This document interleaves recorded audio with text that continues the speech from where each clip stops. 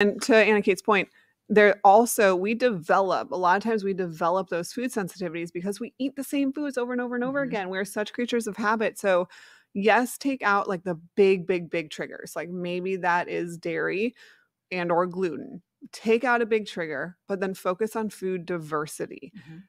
And that way you're not you're not bringing on the same foods over and over and over again and worsening or increasing that sensitivity that you have.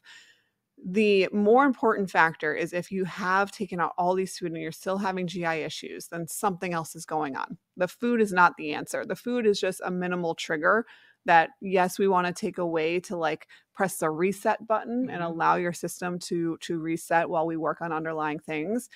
That means that there's not an answer there. So that's where I then turn to stool tests and blood work and other things to be like, okay, what the heck is going on that's causing this problem? I know that's not what this Minnesota is about, Right. but I need to put that in there just to emphasize that food elimination is not always the answer to why you're symptomatic.